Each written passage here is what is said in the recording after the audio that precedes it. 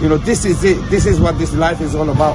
Uh, to come into this world and be of help to someone uh, and make a difference in this world. And when we leave this world, uh, we leave a legacy behind that we help so many people in our life.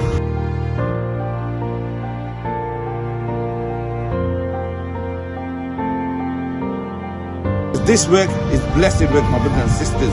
Come on board with the bakery project. Come on board with the At bakery. Set up your standing order forms for just one pound a day or send as much donations as you can. And if you set up the one pound a day, all your life you will be giving sadaqatul jariyah in the way of Allah subhanahu wa ta'ala. What a great blessing that is. Whether it's small, it will be taking place every single day because the work is continuous and taking place every single day.